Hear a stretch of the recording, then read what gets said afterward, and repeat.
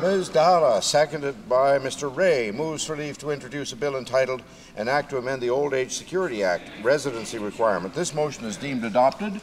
The Honourable Member for Brampton Springdale. Thank you, Mr. Speaker. It is with great honor and pleasure that I introduce a bill uh, to uh, amend the Old Age Security Act, the residency requirement, with the support of the member from Toronto Centre. This bill seeks to increase support to immigrant seniors and erase an inequality and discrimination that exists among seniors coming to Canada from certain countries, like China, the Caribbean, India, Africa, and South America. Immigrant seniors from these countries have to wait 10 years for their old age security benefits versus three years for seniors from other countries.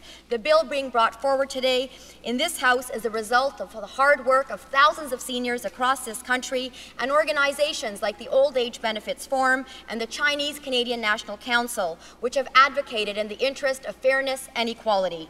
This bill will help to reduce the economic vulnerability that is faced by immigrant seniors and will ensure that all seniors, regardless of their country of origin, are treated as equals in Canada. Thank you.